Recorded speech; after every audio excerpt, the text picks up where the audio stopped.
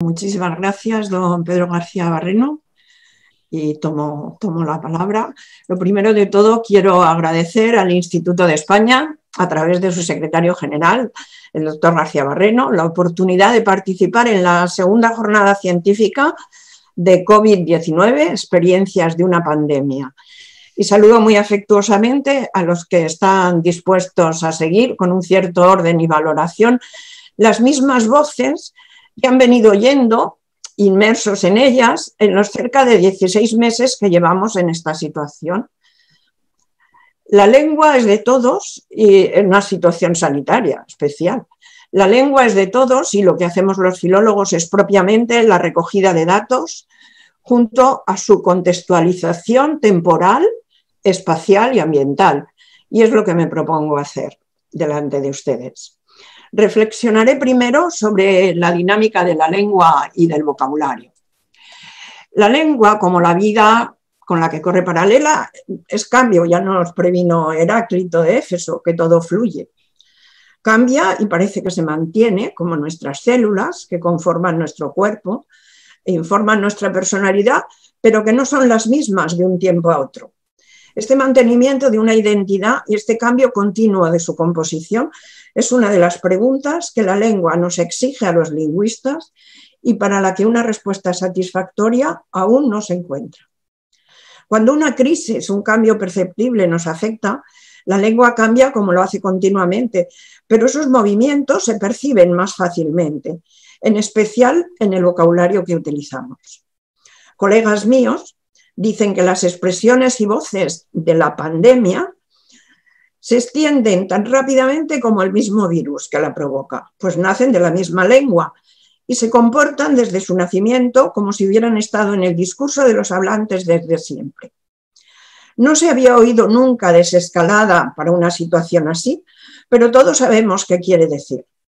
Se nos habían olvidado de no usarlas las cuarentenas, pero ahora se sabe que no tienen por qué ser de 40 días, sino de 15 o de 10. La lengua se adapta naturalmente a la necesidad y los hablantes conscientemente controlan las situaciones inusitadas, poniéndoles nombre y asignándoles nuevos sentidos. No tanto nuevos significados, sino sentido. Una circunstancia imprevisible exige generar o revitalizar palabras para explicarla y para controlarla. Es lo que está pasando estos meses. Recuerden cómo se escuchó al presidente de gobierno los primeros días cómo aparecían a diario los equipos de los ministerios de Sanidad y de Interior, junto a las fuerzas de seguridad y al portavoz Fernando Simón, epidemiólogo, director desde, desde 2012 del Centro de Coordinación de Alertas y Emergencias Sanitarias, ellos empezaron a dirigir las actuaciones y de ellos salieron las voces confinamiento, toque de queda, distancia de seguridad, higiene de manos y hasta nueva normalidad que aún esperamos.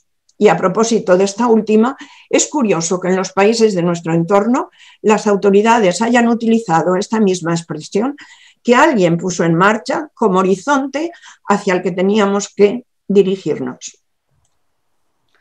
A finales del 2020, periódicos, diccionarios y observatorios lingüísticos se detuvieron en recoger esas palabras que desde marzo hasta diciembre habían configurado la vida de los ciudadanos. El diccionario Oxford, por su parte, declaró la imposibilidad de resumir el año en una única palabra e incluyó en su selección de candidatos, aparte de COVID y coronavirus, lockdown, essential workers and reopening. La Real Academia Española incorporó al diccionario de la lengua de la lengua española en su actualización anual lemas tales como cuarentenar, coronavírico, COVID-19. Una decisión sin precedentes, dado en muchos casos el poco tiempo pasado entre la eclosión de la palabra y su publicación en el diccionario, cosa que no ocurre frecuentemente. El vocabulario de la pandemia sigue en constante transformación y son ahora las variantes o las cepas del virus con su nacionalidad británica, brasileña, surafricana, india, o las vacunas con sus múltiples marcas, las que no se caen de las expresiones cotidianas. El inicial y poco amenazador virus chino se transformó en el peligroso coronavirus de esa misma familia y dentro de ella el SARS-CoV-2 dio nombre científico a la enfermedad COVID-19, que tendrá que generalizarse en femenino como la COVID, escrita ya en minúsculas y sin numeración. Las voces de la ciencia se resisten los primeros días en llegar a ser públicas. Siempre conviene apoyarse en voces conocidas para introducir lo nuevo. Por públicas me refiero a que entren en las informaciones periodísticas o institucionales.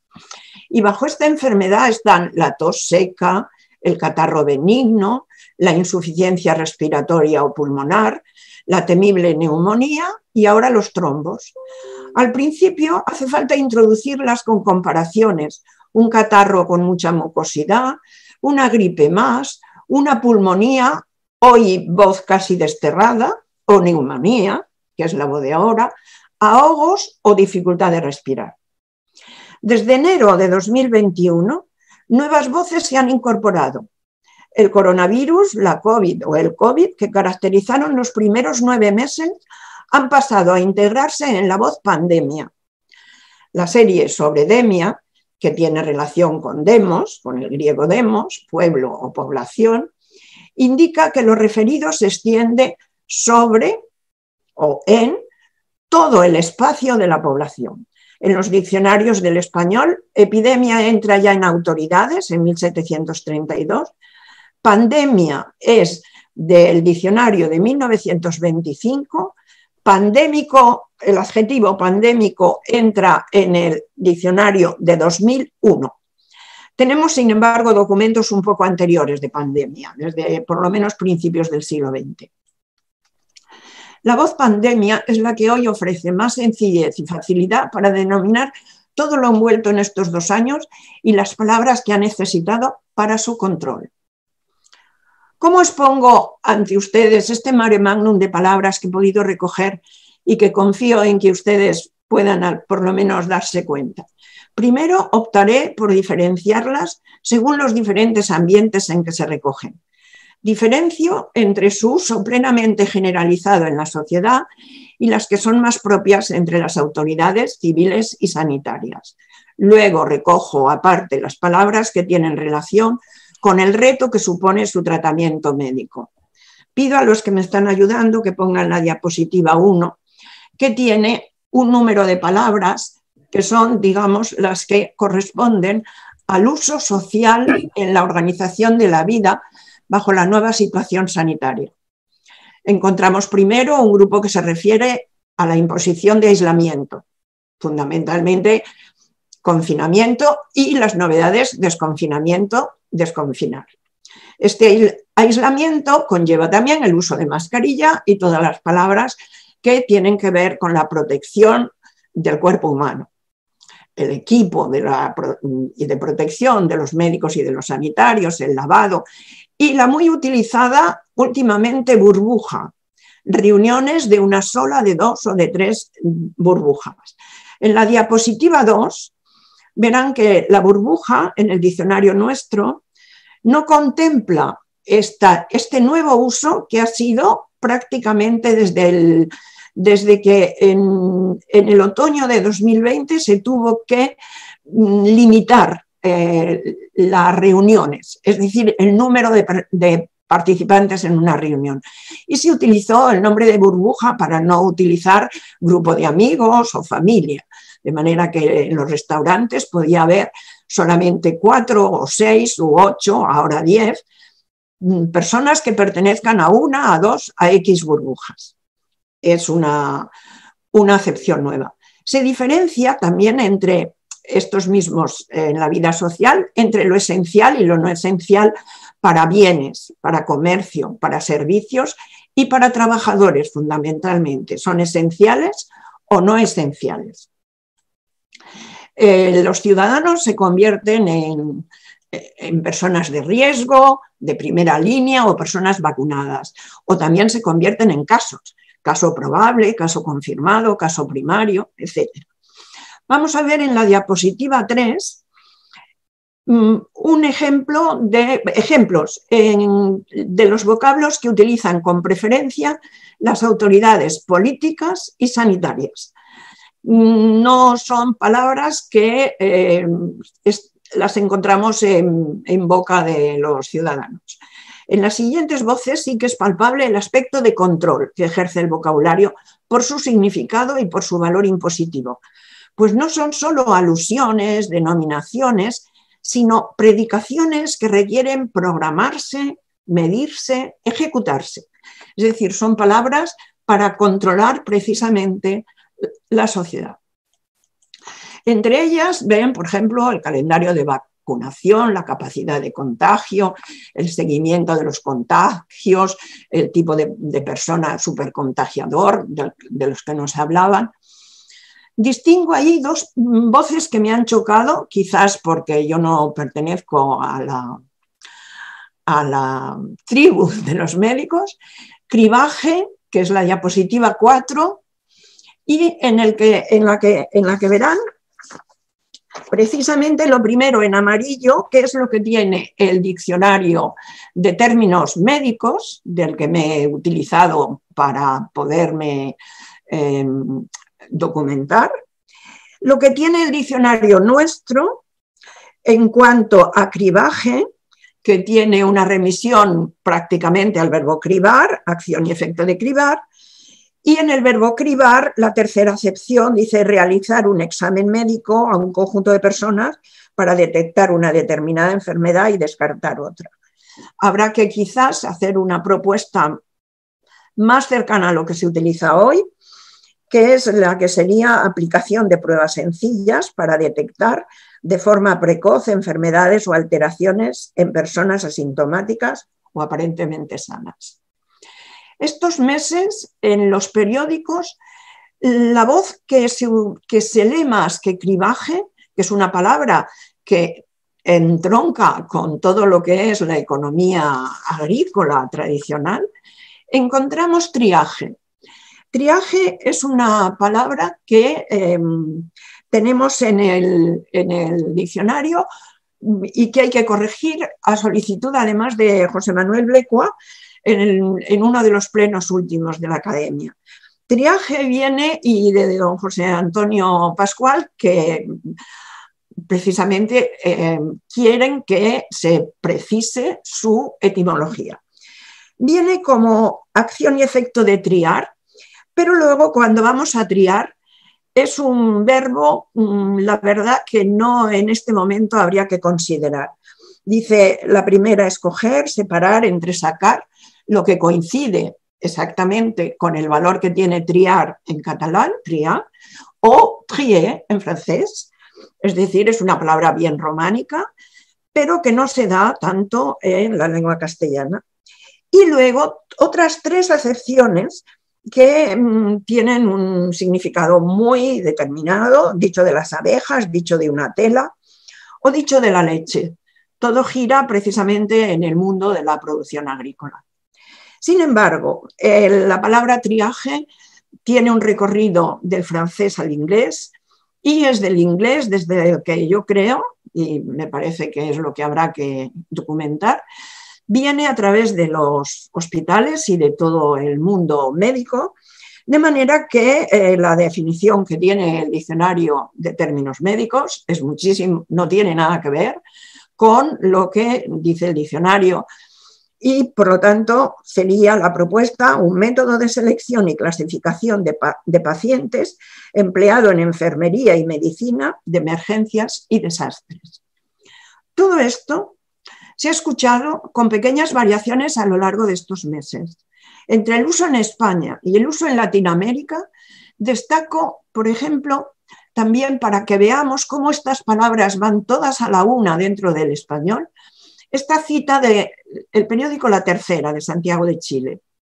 Dice allí, pero el año pasado tardamos tres meses en subir el cerro y ahora llegamos a lo mismo, incluso más arriba, en apenas un mes. Ahora debería quebrarse la curva. La lengua es transparente tanto para chilenos como para españoles, aunque entre las voces patrimoniales y entre las derivadas se constaten variantes entre unos y otros. Vean que a lo que nosotros llamamos popularmente el pico, ellos dicen el cerro. A lo que nosotros decimos verdaderamente mm, bajar, ellos dicen quebrarse la curva. Sin embargo, tanto si estamos en Chile como si estamos en Madrid, entenderemos lo que quieren decir con respecto a las líneas mm, eh, mm, que nos dibujan la subida y la bajada de los casos infectados. Entre las voces propiamente médicas, pongo la diapositiva 6, son muchas entre las ya seleccionadas y ustedes ya las habrán advertido, pero todavía hay algunas más que caen dentro del vocabulario especializado de la medicina. Intentaré exponerlas siguiendo algún esquema médico y clínico en cuanto a su relación con las siguientes categorías. En relación con la patología, es decir, con los agentes causales, la patogenia, la fisiopatología y la anatomía patológica, Empiezo por lo que considero que se pueden agrupar como agentes. Virus, coronavirus, SARS-CoV-2 y el uso como virus, como se oye, de COVID-19 y COVID a secas. Encuentro también adenovirus, pero me fijo en dos palabras nuevas por derivación, infectividad, diapositiva 7. En la diapositiva 7 Vean ustedes que eh, infectividad es una palabra nueva que deriva del verbo infectar y no del adjetivo infeccioso. ¿eh? Tiene la base eh, que coincide más con el verbo que no con el derivado de infeccioso, de infección. Mm, en el diccionario de términos médicos la reconoce como una palabra que nos viene ya hecha de forma mm, abstracta del, inglés, infectivity, grado de capacidad infecciosa de un microbio patógeno. Tenemos otra palabra de este mismo tipo y que van muchas veces juntas, infectividad y contagiosidad, que es la diapositiva 8. En la diapositiva 8, contagiosidad aparece en el diccionario ya como cualidad de contagioso. Este no tiene tanta novedad y no tiene sobre todo dificultad morfológica para explicarlo. Entre estas palabras también tenemos zoonosis, estos últimos días, enfermedad zoonótica, cuando nos quieren explicar cómo pasó el virus de los animales al humano. En relación con la clínica, con el diagnóstico, con el pronóstico o con la terapia, son voces que atiendan a las manifestaciones de la enfermedad, desde luego síndromes, síntomas, pero me fijo en otras, anosmia, disnea, hipoxemia, hemotisis, toseca. De la palabra hipoxemia, diapositiva 9, vean que la palabra hipoxemia no está en el diccionario.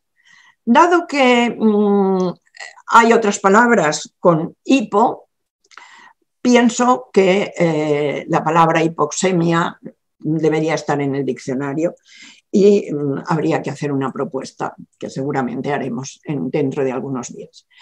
En relación con la medicina preventiva y social, es decir, lo que tiene en cuenta la epidemiología, las vacunas fundamentalmente, la prevención, los tratamientos. En español, por lo menos en los medios de comunicación, no se ha difundido tanto como por ejemplo en francés y en inglés el medicamento basado en la cloroquina. No ha entrado, por lo menos, en, digamos, en, en el vocabulario corriente. Este apartado se conjunta todo en vacuna. En vacuna bien de ADN o bien por mensajero. Tenemos ecos de ello en el diccionario de la academia, en la diapositiva 10, veremos el mensajero, por mensajero, que es la vacuna, digamos, que ha irrumpido modernamente y, mm, y que la tienen muy explicada en el diccionario de términos médicos y que en el diccionario de la academia aparece exclusivamente como el ARN el ácido ribonucleico y mm, que se explica en una forma compleja, ARN mensajero. Exactamente pasa en la diapositiva 11 con la otra vacuna que se basa en el ácido dexosiribonucleico. Es la, mm, la, ficha, la ficha 11, la diapositiva 11, que la ven ustedes y que tiene también mucha más explicación en el diccionario de términos médicos, pero en el diccionario no viene verdaderamente como vacuna, es decir, que tendremos que considerarlo. Tenemos el antígeno y tenemos vacuna, ¿eh? y este es uno de los vacunas. No sé si será tan popular como para poderla considerar en el diccionario. Mm, en, Vamos a hacer ahora un somero análisis lingüístico porque el público que nos escucha tampoco es lingüista y tampoco quizás le interese, de los neologismos más usados, sobre todo en, la valoración que se ha hecho a finales, a finales de año de 2020. Como filóloga, tanto en el tiempo como en el gran espacio por el que se extiende nuestra lengua, Puedo agruparlas por sus características lingüísticas o morfológicas y me circunscribo ya a una selección. A la selección que han hecho de neología los dos observatorios de neologismos que funcionan mejor en el español. El antenario, que lo concentran en Buenos Aires, y las antenas neológicas, que las hacen en mi antigua universidad, y las promociona el Instituto Cervantes. Han recogido metódicamente estos dos en cinco países hispanohablantes los neologismos a lo largo de 2020. Entre cinco países, Argentina, Chile, Colombia, España y Perú. Tienen la mm, diapositiva 12. Se distinguen entre las seleccionadas varios tipos. Primero, voces patrimoniales que tenemos en el diccionario normalmente, distanciamiento, normalidad, barbijo, aislamiento, estallido, crisis. ¿Qué hay de novedoso para que lo recojan los observatorios de enología? La adjetivación que los especializa. De manera que eso fundamentalmente, por ejemplo, el adjetivo social o el adjetivo sanitario o el adjetivo colectivo tenemos en distanciamiento social, en aislamiento social. Cinco minutos. ¿Cinco minutos? Bien. Tenemos los. Muchas gracias, don Pedro. Neologismos por derivación y composición.